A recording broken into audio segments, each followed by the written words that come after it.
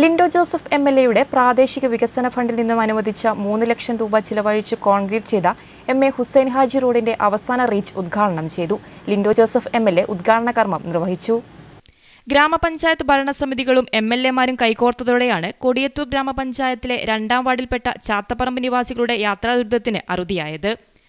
പ്രദേശവാസികൾക്ക് കൊടിയത്തൂർ അങ്ങാടിയിൽ എളുപ്പത്തിൽ എത്തിച്ചേരാനുള്ള റോഡായ എം എ ഹുസൈൻ ഹാജി റോഡാണ് യാഥാർത്ഥ്യമായത്.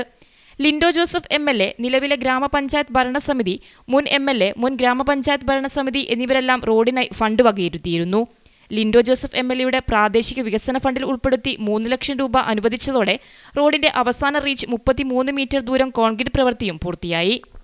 നിലവിലെ ഗ്രാമപഞ്ചായത്ത് ഭരണസമിതി നാലര ലക്ഷത്തിലധികം രൂപ ചിലവഴിച്ച് രണ്ടു മാസം മുമ്പ് റോഡ് തൊണ്ണൂറ് മീറ്റർ ഭാഗം കോൺക്രീറ്റ് ചെയ്യുകയും കൈവരികൾ സ്ഥാപിക്കുകയും ചെയ്തിരുന്നു.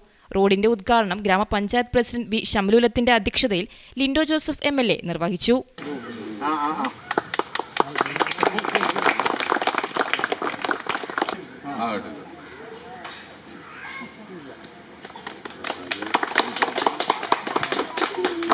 ഗ്രാമപഞ്ചായത്ത് വൈസ് പ്രസിഡന്റ് ഷിഹാബ് മാട്ടുമുറി പഞ്ചായത്ത് അംഗം ടി കെ അബൂബക്കർ മുൻ president C T C Abdullah V Ahammed Kareem Kodiyathur C P Muhammed Noorjahan M A Gireesh Karakkutty A K Sreejith എന്നിവർ സംസാരിച്ചു. News bureau Mukkam.